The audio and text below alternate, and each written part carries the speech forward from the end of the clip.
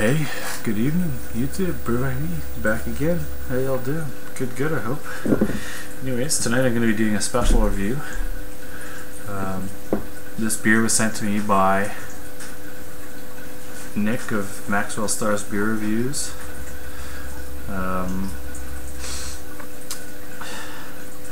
and uh, yeah, he sent it to me via Guy uh, when Guy was out there. Um, they had a, they had a blast, obviously, and uh, he said, "Hey, can you bring these to Dale?" And he said, "Yeah, no problem." So I he there's three more that that he sent me that I haven't reviewed yet, and the three that I haven't reviewed are all Pump House. Uh, well, yeah, there's three that he sent me that I that I, um, I that I haven't got to reviewing yet, but two of the ones out of the three that he sent me I have already reviewed because they were sent to me by Don of Don Rig 13's beer reviews. Um, um, so anyway, so I have one left from Nick's shipment, which is uh, I believe Pump House Doppelbock. Um, and also Don Rig 13 sent me a Pump House Doppelbock, so I have two of them. Um, so anyways, so uh, this is the Guinness Black Lager, which started showing up at the LCBO around here, um, but uh, it wasn't here when he sent it to me. I'm going to be using my Guinness glass. It has trees on it or something, I don't know. Anyways, so this is the Guinness A Black Lager. It rings at 4.5% ABV, St. James Gate, Dublin. Genuine quality, quality Guinness Black Lager. Um, brewed in Ireland. It's kind of a nice bottle. It's very slender, easy to hold and stuff like that. Nice shape to it. There's some embossing on the glass of like harps, the Guinness harps.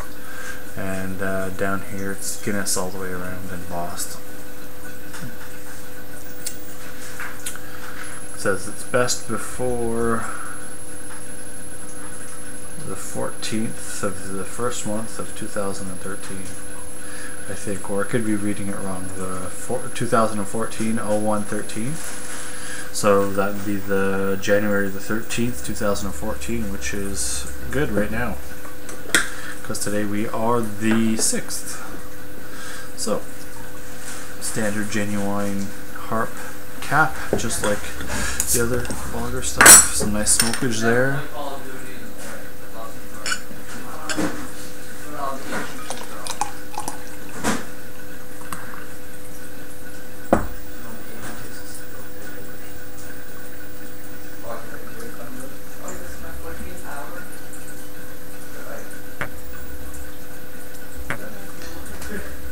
Guinness Black Lager is cold brewed with roasted barley to deliver the refreshing taste of lager with the unique uh, character of Guinness.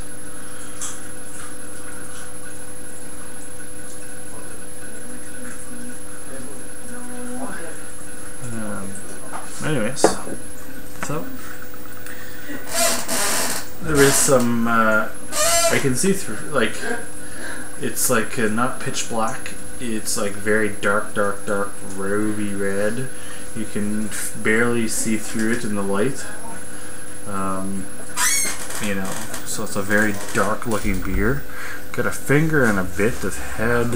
And it's like an off-white mocha kind of head. Very tiny bubbles. Good looking beer. So, without further ado, let's give her a smell. Smells like a lager.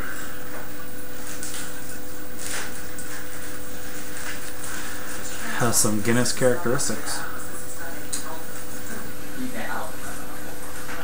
Nice sweet malt presence there. Some roasted barley uh, characteristics.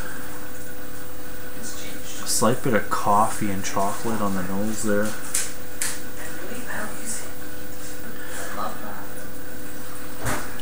Earthy floral kind of hops. And that's about it. There's not too much to this beer. It's a black lager. That's what it is. So So, cheers.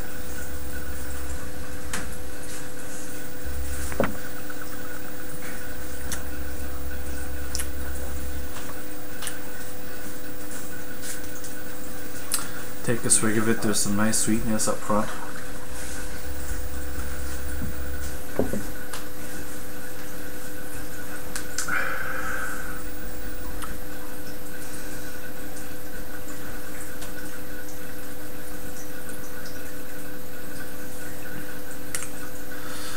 So you take a swig of it, nice bit of sweetness up front.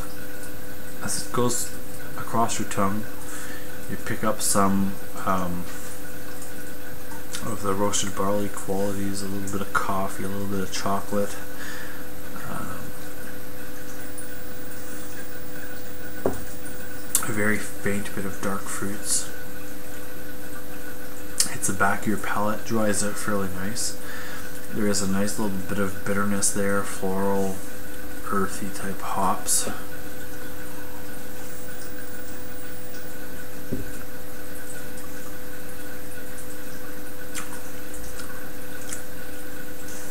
Light body, light mouth feel.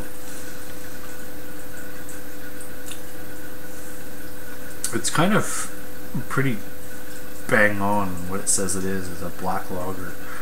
Um, you know you got the you got a lot of the lager characteristics up front um, but with the dark malts added you get that extra uh, level of uh, flavor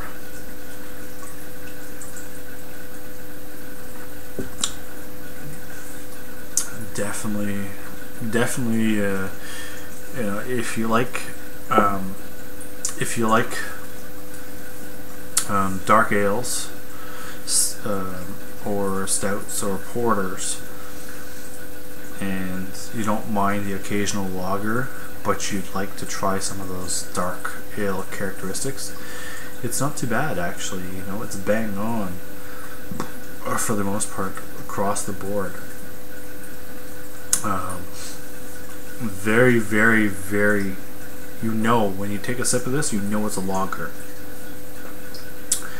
um, but after you take a sip of it, then you get those different flavor profiles that you're not used to in your typical lagers because there's the dark malts.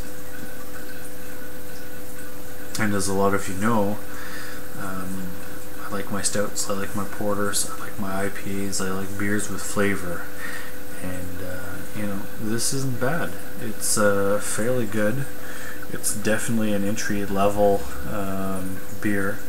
Um, the lager lovers, if they want to start to try and get into dark beers, this is one of those beers you'd like to pick up and give it a go and uh, you know try and get the the flavor um, for the dark beers because you know it it's exactly like a lager except it's made darker. Um, you know all the flavor and uh, aroma and stuff like that is bang on with a lager. Um, you know but then they upscaled it by adding the dark malt and you get those dark characteristics like the chocolate and the coffee and the dark fruits you know. So it's it's it's good. It's it's not bad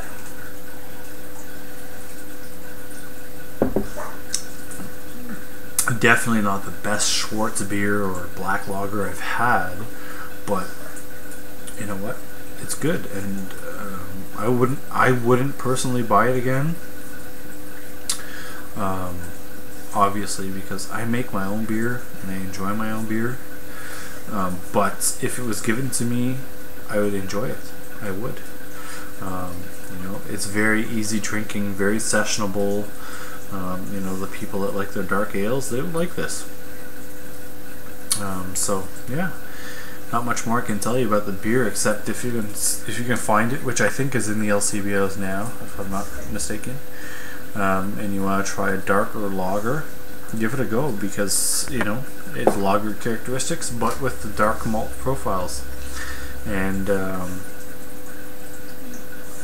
you know, it's very sessionable, very easy drinking, light body, light mouth feel, um, very refreshing, you know, except it's on the dark scale, so um, there you have it. Uh, malt profile. You got some two row in there, some caramel crystal malts in there, some black malt in there, some chocolate malt in there, a slight bit of roasted barley.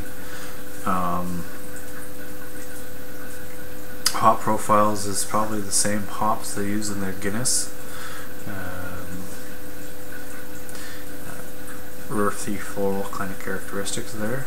Um, German noble. So yeah, there you have it. Uh, not much more I can tell you. So uh, I hope you enjoyed the video. Please rate, comment, subscribe. Do any suggestions or ideas in the comments box. I'll get back to you as soon as possible. I'll be back with some more reviews another day. Bye for now. Cheers!